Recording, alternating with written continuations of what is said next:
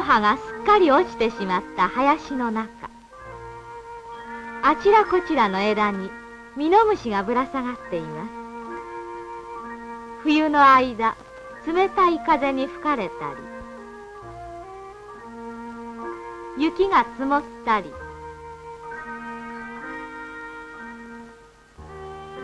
凍りついたり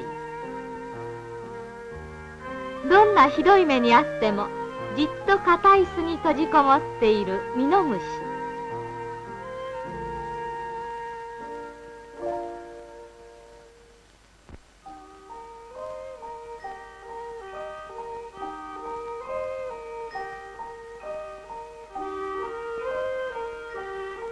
暖かい春がやってきたのにミノムシはまだ動きません。死んでしまったのでしょうか。の芽がこんなに伸びました。ミノムシはまだ動こうとしません。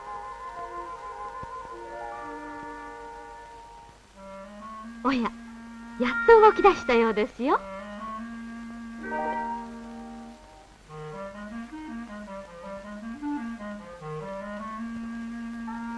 巣の入り口を口で噛み破って枝から離そうとしています。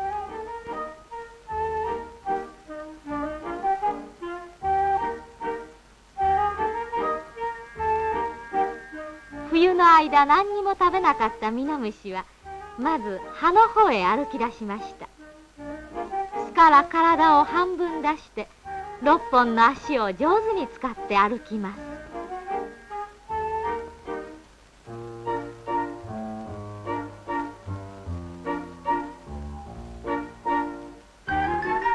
足の動かし方をよく見てください。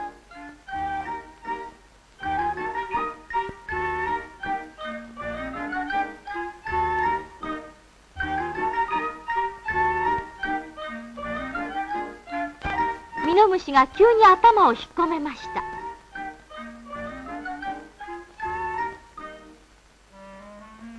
小鳥が虫を食べに近づいてきたのです。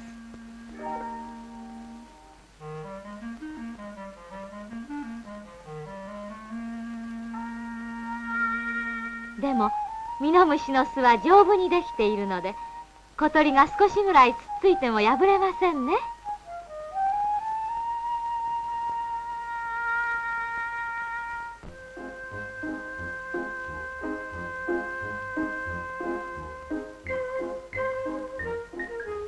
ノムシはいろいろな木の葉を食べて育ちます。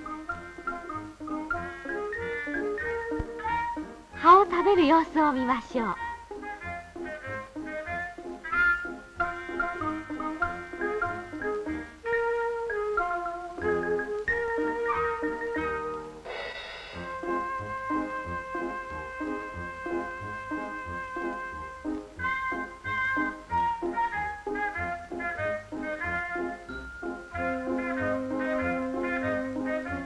食べ終わってお腹がいっぱいになったミノムシは自分の巣を葉の裏にしっかりくっつける仕事を始めます。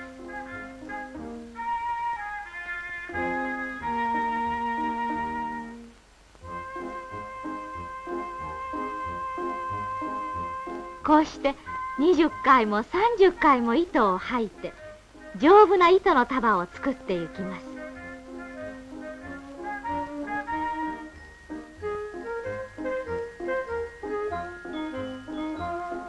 間もなく内側から入り口も閉じてしまいました。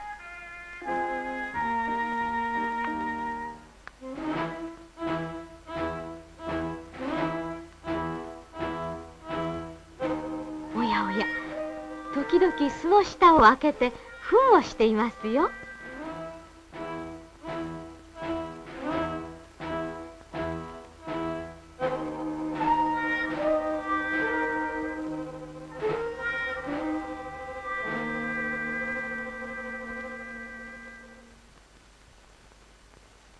小枝や葉をつづった巣を開いて内側を見るとミノムシが吐いた細い丈夫な糸ですっかり包まれています。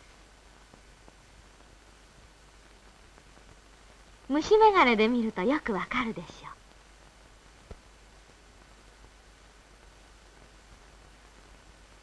う。ミノムシの黒い体は柔らかく頭と胸には模様がついています。吐き出す糸を引っ張ってみると口の真ん中に糸を出すところがあるのがわかります。六本の足の先には鋭い鍵のような爪があり枝を這うときに使います。お尻の先にあるイボ足にも目に見えないくらい小さな鍵が丸く並んでついています。この鍵を巣の内側の糸に引っ掛けるのでミノムシをなかなか巣から引っ張り出せません。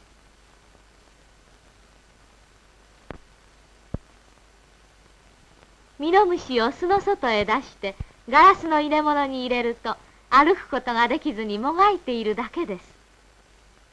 面白い実験をしてみましょう。ガラスの入れ物を用意して細かく切った新聞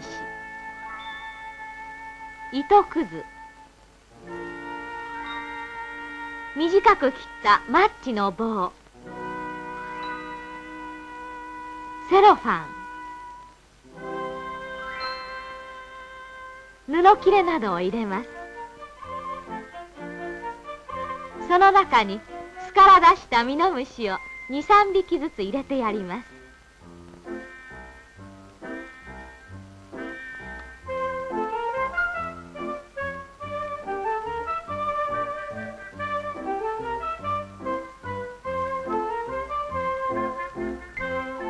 ミノムシが口から糸を出して紙や布を綴り始めました。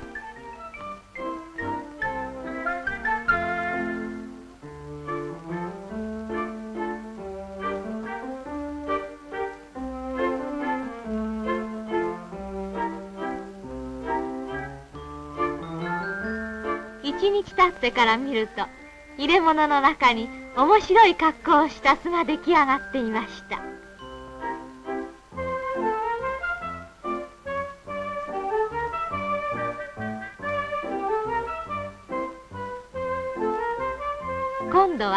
それを木の枝に下げてやりましょう。糸くずだけで作った巣を下げて歩き出しました。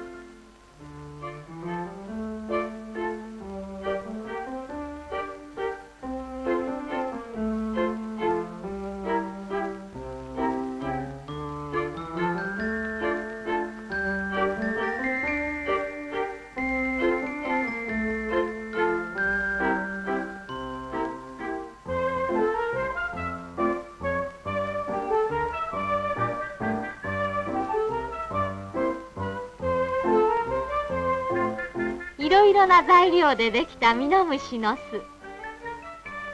こんなミノムシが本当にいたら面白いですね。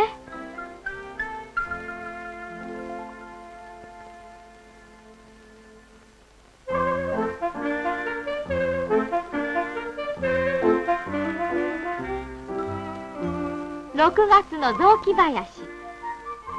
この頃ミノムシは巣の口を枝や葉にしっかりとくっつけてしまいます。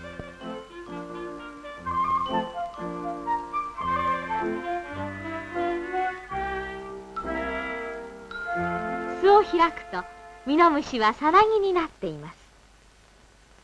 左はオスのさなぎ右がメスのさなぎです。大きさも形もずいぶん違いますね。さなぎは必ず頭を下にして巣の中に入っています。もう7月も半ばです。巣の下の方から何か動きながら出てきました。オスのさなぎのようです。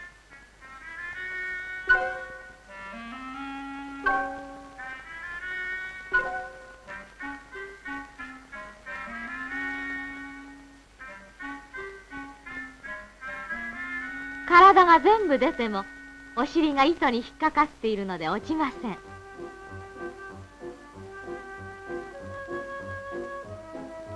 30秒ぐらい経つとさなぎの殻が破れて小さな黒い蛾が生まれました。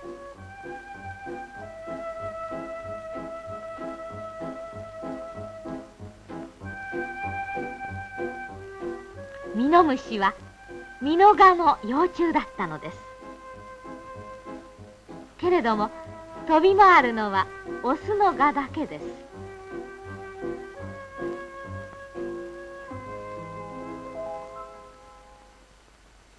メスのさなぎはどうなったのでしょう？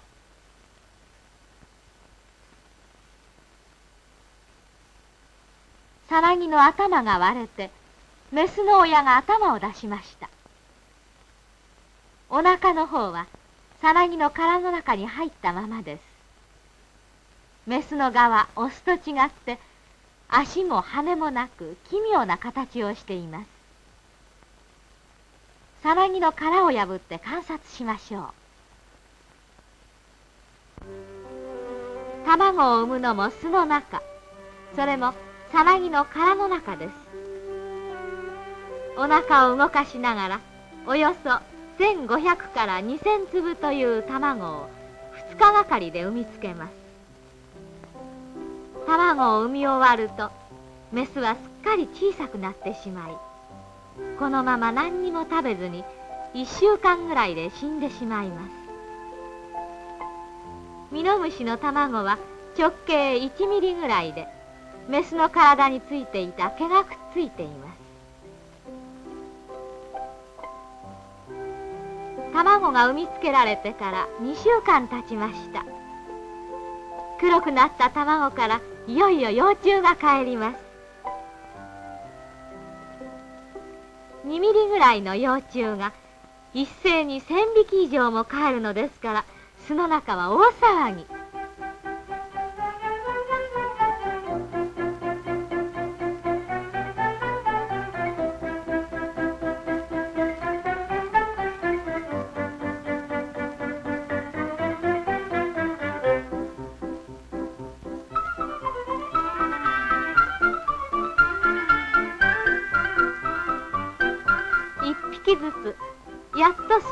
外へ出た幼虫は糸を吐いてぶら下がります。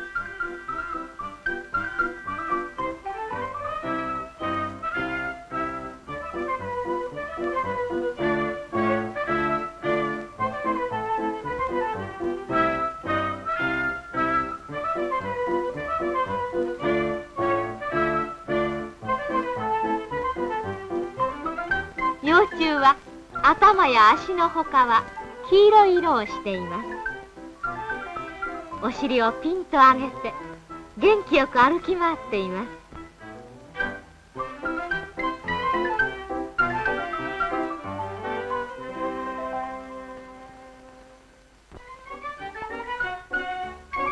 変わった歩き方をしていますよ。よく見てください。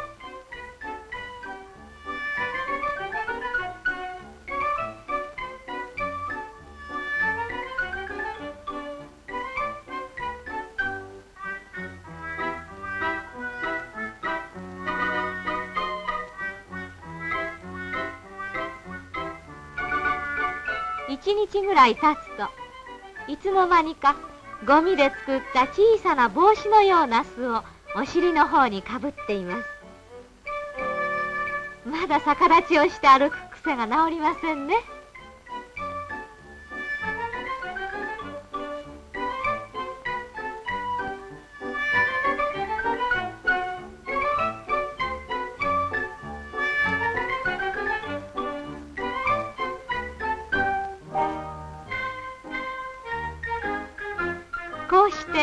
さなミノムシはあちらの枝にこちらの葉にちりぢりになっていきます。